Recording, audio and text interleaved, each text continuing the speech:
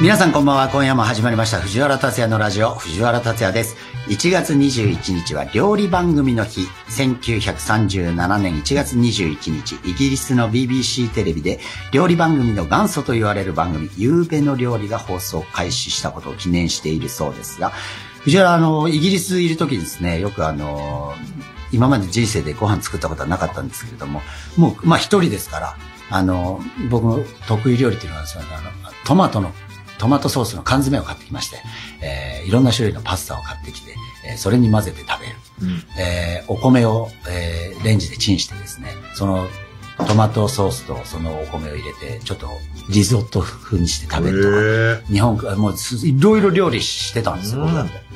おかしくないんですよ、その踏み笑いは。いや、全然いつもいや、大変それ。いつもの嘘つけって顔ですよ。いや、そのトマトソースにも塩コショウ振ってみたり、お酒垂らしてみたりして味を変えてですね。パスタもちょっとアルデンテにしてみたり、こう、いろいろやったんですよ。それ一番美味しいですね。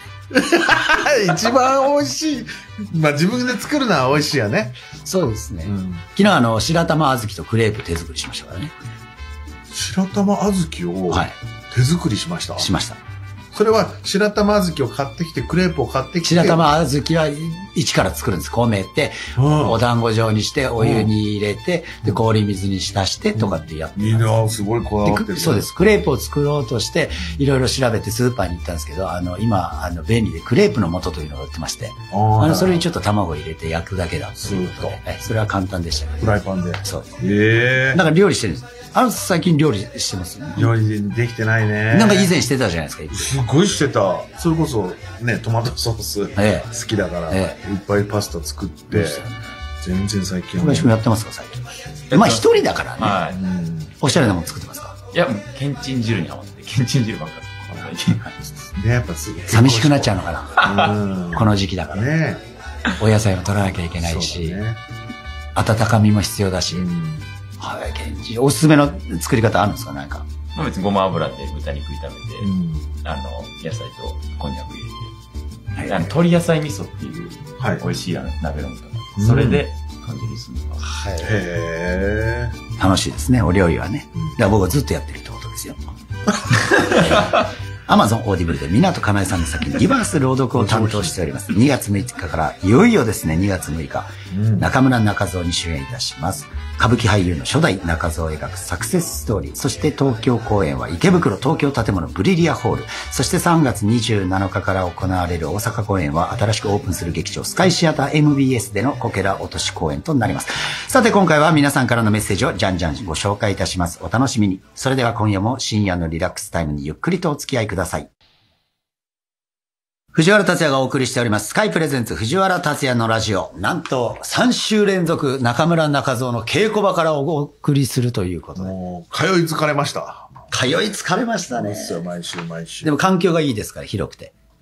ああ、あの、もうえセットのね。もうちょっとな、あの、馴染めば、居心地が良くなると思いますけど。ね、さあ、ラジオネーム、さきちゃんさん30代女性、愛知県。先日 USJ でお写真を撮っていただいたものですですと。上手のところです。母と弟と夫と一緒に握手もしていただきました。弟が小学生の頃から大ファンでとっても喜んでいました。オーラがすごく、あの後ずっと手は震えて放心状態。弟は就活中で大変なことも多いけど、今日からまた頑張れると言っていて、私も嬉しくなりました。プライベート中にお声かけてしまったのに、優しく対応していただきまして、本当にありがとうございました。家族みんなで感謝しております。ちなみにお会いした時、達也さんがすごくいい匂いがして、もしよろしければ愛用されている香水などを教えていただきたいです。達也さんに憧れている弟にプレゼントしたいです。よろしくお願いします。ということです。先、その、ほらもうすぐですが、先週ですよ。ねえ。4日前ぐらいですよ、この USJ 行ったのは。USJ に行って。今で言うと4日前ってことですか ?4 日前ぐらいですよ。友達の、あの、ご家族と一緒に行って、うん、えー、最初頑張ったんですよ。最初頑張って、よ、頑張ったんですよ。その、45分50分待ちっていうから。待ちよね。うん、それは待てないでしょ。だから世のお父さんはすごいと思うんですよ。一般的には待つ。一般的に待つ。全然待ていやいや、知ってますよ、そんなことは。世のお父さんすごい、大感謝しか、僕は尊敬の念を抱きながら常にお父さんずっと見てる。お父さんしか見てないんですよ、テーマパーク行くと。ディズニーしか USJ もすごい、あの、大荷物持ってね、雨にも風にも打たれて、で、時には子供たちあの、妻子供喜ばせるために、うん、もうお昼からこう、夜のパレードとか場所取りして歌種してるわけじゃないですか。歌種して。藤原のデータによると、えー、約数割の方があの、水筒に焼酎入れてるらしいですよ。やってらんねそんなことはないだろう。いやいや、わかんないですけど、それじゃなきゃやってらんねえっつってこうお父さんこう待ってたりさ、うん、それでまた、大変でしょ、並んで食事も。そうだよ。だから僕なんてそのファストパスとかがまだあった頃ね。ええ。もうこっちで並びますよ。ええ、で、子供と奥さんがこう来ますよ。うん、で、お父さんご苦労様、うん。で、お父さんそこで離脱。いや、そう違うところのファストパスをもらいに行く。はい、で、お父さん場所どこ？って今日座るっていうね。はい、それがもう世のお父さんですから、で、我々もやりましたその、友達のお父さんと一緒に、うん、45分ぐらい待って、えーなんか乗ったんですよ。うん、じ次もまた乗るっていうから、次はまた50何分も1時60分待ちっていうぐらいなんですよ。そうですよ。それちょっとあの、状況が変わってきまして、あの、ちょっとそのお父さんと離脱しました。ちょっと打ち合わせがあるっていうことで。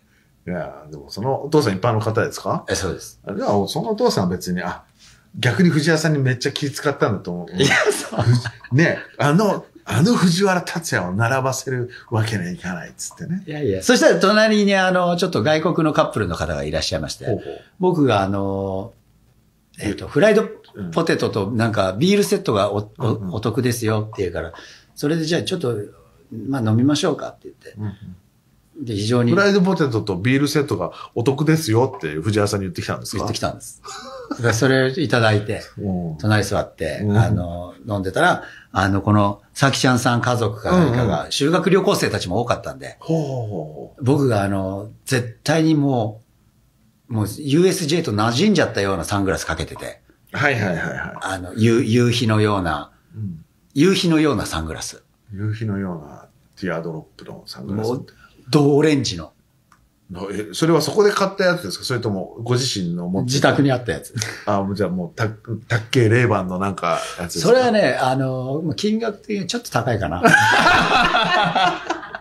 それで、まあさ、それ帽子かぶってさ、まあ一応。ナリキングラス。ナリキングラスして、ナリキン帽子とナリキンマスクっていうのがあるんだけど、うん、もう同化してんだよね、USJ に。うん、で、まあ洋服もなんか、あの、たっけ、あの、コートかなんか着て。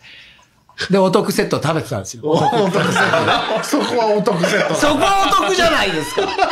そこはお得。成金がお得セットそうです。食らってたのね。それでまあ、ちょっとビールも飲み終わっちゃったんで、ちょっとなんか、あの、ワインリストかなんかあります？あの、ワインリストはございませんってことで。じゃあまた別のハイボールセットす。すげえハイボールの。そしたら、まあそんな話はいいんだって。さきちゃんさん家族がいらして、こうやってて、あの、握手写真撮ってて、っていう話でよく覚えてますよ。あ、じゃあちょっとアルコールも入って気分も良かった。そうです。で、隣の外国のチームが、お前は何者だ なるわな。そしたらその、お父さんも面白くて、俺が写真撮ってる間になんか、この人は日本でハリーポッターやったんだって、その動画見せ出して、それ、あの、すごいハリーポッターの大ファンだって言って、あの、USJ もありますからね。そうだね。ハリーポッターエリアが。ね。そこでみんなで記念写真撮影して。えー、素敵な。で、帰ったっていう話ですけど。へえ。で、あの、最後に質問が、その、要は、藤尾さん香水なんかつけます？香水つけないですよ、僕。ね。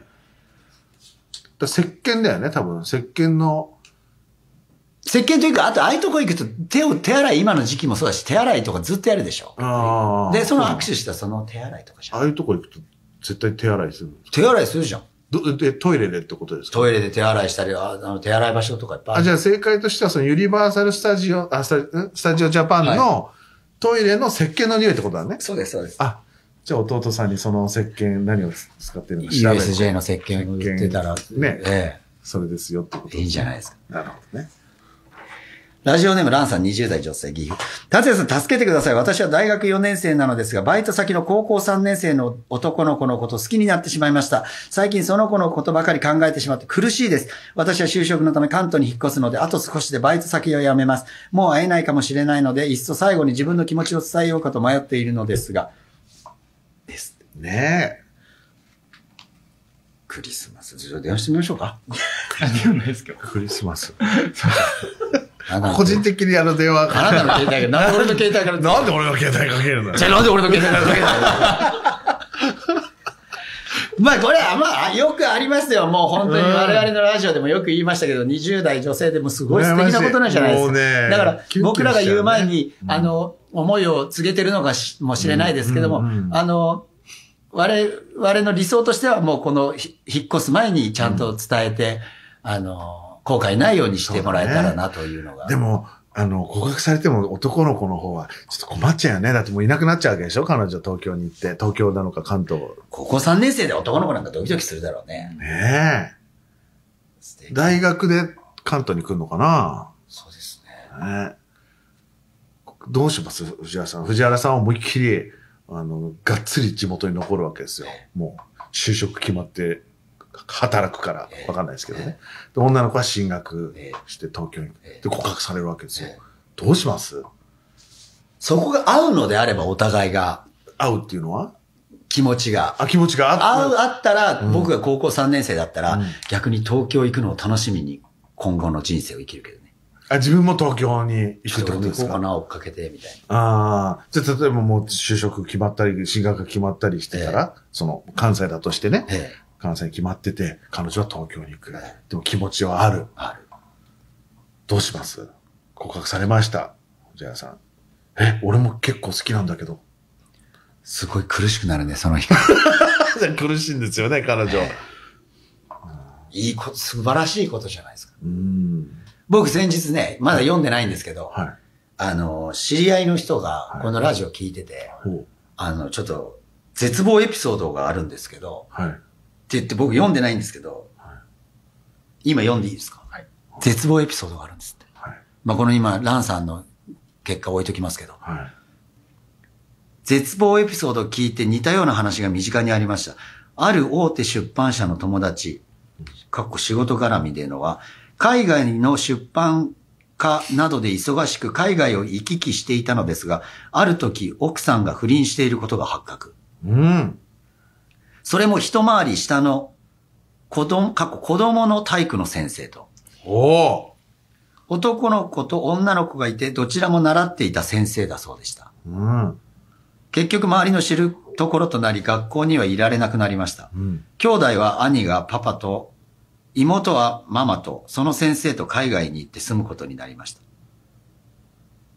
うん出版社の友達は60歳で退職してすぐに白血病になり1年後に亡くなりました。はあ、かわいそうなお話でした。どうして笑った？いやいやいや深刻に絶望エピソード。絶望すぎるなと。うん、救いがなさすぎて。うん、えー、もう一回読もうか。ええー、絶望エピソード。送ってきてくれた友人がいて、今初めて僕も読ませてもらいました。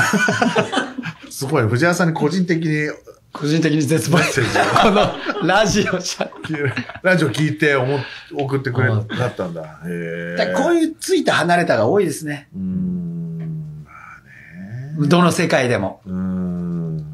どの世界でも多いですね。だからもうそういう話に比べたら、やっぱ、ランさん、これ青春真っ只中ですから。羨ましい。当たって砕けろじゃないですけど、後悔しないように思いを伝えて、引っ越しされた方がやはり自分と今後のためにもいいんじゃないのかなと思います。最近絶望エピソードありました？いや、絶望だからもう脱毛症になったぐらいですね、絶望。治りました？治ってないですよ、全然。ツルツルですよ。そうなんですね。絶望ありました絶望そんなに絶望ってないですよね、この年になって。この年になっての絶望は、マジ絶望だと思うよ、本当に。いや、マジ絶望だよね。うん。ラジオネーム目の上の単行部さん20代女性。私の24年の目標は酔っ払って人に迷惑をかけないこと。一人でお酒を飲んで楽しくなると友達に電話をかけてしまう癖があり、迷惑をかけまくってきました。もういい大人なので電話をかけず帰り道はこのタツラジを聞きながら自分をしっかり保って帰ろうと思います。そして電柱を抜けるように気をつけて歩きます。達也さんいつも優しいお言葉をありがとうございます。この人電柱にぶつかっちゃった方って、ねうん、目の上の単行部さんは結構、あの、常連ですよ。そうですね、うん、20代。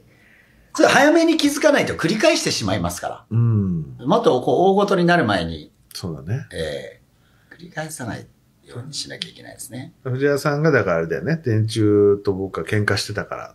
ええー、だからまだいいですよって。そうです、そうです。ね。だからもう24年は、あの、この前もね、誰かと喋ってたんですけど、あの、もうバーに行くこととかなくなってきたじゃないまあそうね。ご飯食べて、よし、じゃあ2軒目バーとか、じゃあ3軒目バーとかって言ってきたけど、ねうん、もう話すことも、こう、一緒のことしかなくなってきてるし、進歩がないわけだから、だからもう1軒目で帰る。っていうのがやっぱいいんじゃない？ですか。そうだね。で、お家でゆっくりなんかテレビでも見ながら過ごすのが。この方は、あれ、結婚されてるんだったっけ？目の上の単行さんに乗ってもいい？20代若いっしょ、まだ。若いですよ。うんだからまあ、おっしゃる通り、あの、達ラジオ聞きながら、家路につけばいいんじゃないのかなと。そうですね。思いますけれども。お酒が好きなんですね。ついつい飲んじゃうんじゃないでしょうか。はい。60代の方。ラジオネーム、ドジニャンさん、60代女性、北海道、24年の目標ですが、22年に藤原さんのファンクラブに入会、そして23年は北海道からハリーポッターのためだけに東京に行き、えー、藤原達也のラジオも毎週欠かさず聞いております。今年はファンミに行きたい。そんな私は今年還暦でやりたいことをやるのが目標でもあります。いいじゃないですか。やりたいことをやるっていうのはいいですね。やりたいことをやるっていうのは、でも、ある程度そのお金もかかるわけですしね。うん、スケジュールに余裕がないとできないわけですから。だ60代の女性ですからね。まだ結構元気で。いいことじゃないですか。ね、その一人で東京来て。そうですね。24年やりたいことないんですか？え？突然？突然。藤原さんなんかないんですか？僕はね、ずっと、まあ、気球に乗りたいっていうのはありますね。本当に、うん、高いとこ怖いのに？高いとこ怖いんですけど、気球だったらこう、あの、まあ、いけるかなと思うんですけどね。どどういう、なんか見たんですか？いや、昔からなんです。昔から気球に乗りたくて。あ、あ本当に？気球、え、ど、どこだっけ？有名、えっと、さ、あ佐賀？九州？あります。佐賀か。でもすごい、もうすごい、もう昔からの夢で、もうちょっとなんか、高いとこ大嫌いだから、うん、気球行けるかもしれない。一回あったんですよ、オーストラリアで。うん、行けるかもしれないっつって。で、横になって、あの、そうね。あれ、まあ、乗ったんですよ、うんうん。乗ったけどちょっと強風すぎて中止にするっていうから、そういう運命だったのかなと思って。そしたらちょっとこの番組の企画でね、多分ね、佐賀だと思う。あの、気球のなんかね、そういう、で、日本のでかい大会みたいなのがあるんですよ。それの、アンバサダーとかになって、まあ実際わかんない。お断りするかもしれないよ。実際考えて。それでほら。じゃあそのオーストラリアは腹をくくったわけだから。だから今回も腹くくって、もうだからスカイさんにそれ言っちゃって、うん、もう気球にでっかい藤原さんのあのほら、あの指ポやってるポスターのやつ。あ、で、スカイさんのマークと。そうそうやって、で、実際は俺と小林くんしか乗ってないみたいなことにならないいや、それはそうよ。大人数なんか乗ったら嫌だもん。バランス保てないかもしれないもん。京、あ、京都の、京都？京都にもあるんですよ。あの、キャンプサイトとか。綺麗そうだね、京都。あ、佐賀ですね。いや、これ企画で。24年、4月ぐらいに一発できんじゃないですか。うん、怖くないのであればね。いや、怖いっしょ。超怖いよ。マジ？いやいや、怖いっしょ。だって、鹿児下すごいことになってるわけだから。ちなみにあの、東京ドームの隣、東京ドームシティにある、あの上まで行って、こう、カゴでこう降りてくるやつがあるじゃん。あ、あるね。あれはもう、ちょっと、もうちょっとで腰が抜けそう。あれで。あんなもんじゃないでしょうよ、だって。じゃあ無理かな。いや、頑張ってみようよ。頑張るとかの話じゃないもんね。まあ、いや、いいものを。いいものを届けたいっていうのがあるけど、頑張りゃいいってもんじゃ、俺の場合に違って気気絶したりするから、きっと。もう取れ高バッチリじゃん、それ気絶したら。失禁とか失禁とか。あ、もう、だからおむつしていこうよ。目も開けられないかもしれない。意味ない。俺 USJ のジェットコースターって目なんか開けたことないもん。ずっと目つぶってるから。目つぶってる方が怖いけどね。いやいやいや。埼玉にもいつ乗れ、いつでも乗れるのがあるの？あら。じゃあ、外、外線だよ。で着着陸後には、熱気球の発祥であるフランスの伝統に習って、シャンパンで乾杯するらしいああ、いいですね。近場であったわ。いいじゃない。そこで3本。ハマっちゃうかもしんないよ。気球に？マイ気球とか買っちゃって。いや、何回も乗るもんじゃないもん。そうなんですか何回も乗りました。いや、だからハマっちゃって、またあの、あの、僕が世界遺産であの、4人乗りの小型セスナって乗らせてもらった時に、4人乗りのセスナってのは絶対ダメなんですよ。もう安定しないで、バンバンバンバンバンバンバンバンバンバンつって、もうエンジンも止まりそうなんです。バンバンバンバンバンバンこんなんで上がるのか。で、海の上、上空、ディレクターとカメラマンいて、あの、音声さんいて、4人で乗って、もう90度ぐらいでこう旋回するんですよ。はいはい、で、下にクジラが見えたんですよ。で俺もう本当に失禁しそうで、あ、クジラがいるって言ったんですよ。そしたら、え、クジラさんどこどこっつって、クジラどこってみんな気づかなくて、あそこにほらクジラいますもう横になってるんですよ。で、横になって、どこ？って言って、そこもう一周半ぐらいしてたんですよ。で、そこでもう無理と思って嘘つきましたね。あ、いなくなったいなくなったっつって。で、下では豪華に潮吹いてんのに。いなくなったいなくなった、もういないですいないですっつって。その時にも思って、やっぱ地に足をつけることってこんなに幸せなことなんだっていうのがね。でも、菊はやるんですよね。ちょっとちょっと考えてみてください。はい途中で。見てください。こっちのセリフだよ。ちょっと考え。ちょ、直前で断るかもしれない。だから直前で断るとかなしだから、もう予約とかするから。最悪地上で俺は。でもみんなだけど。ダメダメダメ。ダメとかないから、そんな、あなた責任取れないでしょ？私の命に。取れないよ、全く。私の失禁に責任取れないでしょ失禁はもう大人用おむつ履いてあんたずずっとなんかこう、オケ持ってるけどさ。だからおむつ履けばいいじゃんって言って大人のおむつ。そう。居心地悪いなんか。居心地？履き心地ってこと？履き心地。居心地悪いな、その、他は居心地悪いかもしれないけど。はい、ラジオネーム、ミカさん20代女性東京。えー、先日、秩父の夜祭りに参加してきました。久しぶりの土日開催で多くの人が訪れ、この日を待ちわびた地元の方と混ざり合って、賑わい、えー、祭り林と花火の音が鳴り響く、ま、響く街中に胸を躍らせ、真冬の下のお酒も美味しく、会話も弾んで秩父が大好きになりました。勇ましい大人たちが乗るおみこしの真似をして、小さい子がホーリャーイと叫んでいる姿に心が温まり、達也さんも夜祭りの楽しかった思い出は記憶に残っていますか？もう行かなくなりましたね、お祭りとかね。でも、地元いた頃はお祭りしかなかったじゃないですか、昔はね、子供たちは、あの、僕らが子供の頃の時代はやっぱ、あの、すごく時代が良くて、ね、出店っていうのは何か、お化け屋敷とか大きい、大きい公園の一帯にお化け屋敷、当時は見せ物小屋と見せ物芝居とか。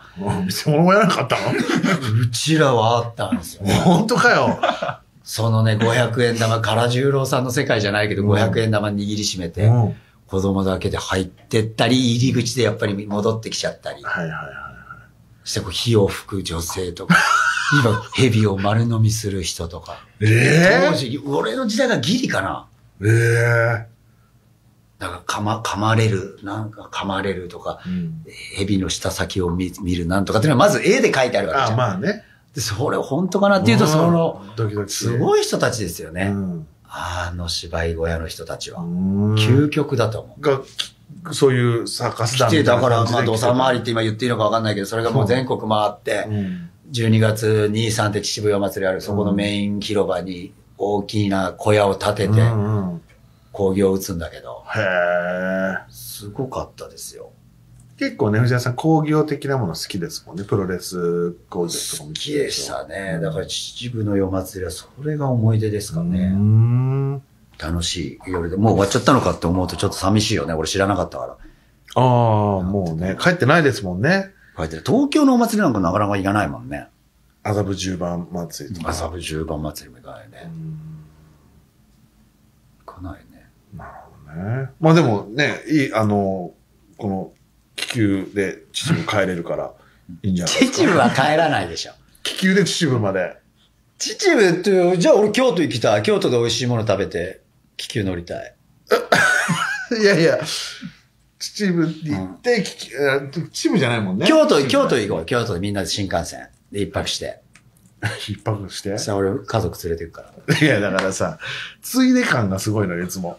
うちがでしょ。うちがでしょってあなたので、終わった後ちょっと2泊ぐらいして。ああ、それ自分で？ね。そうです。ね。そうです。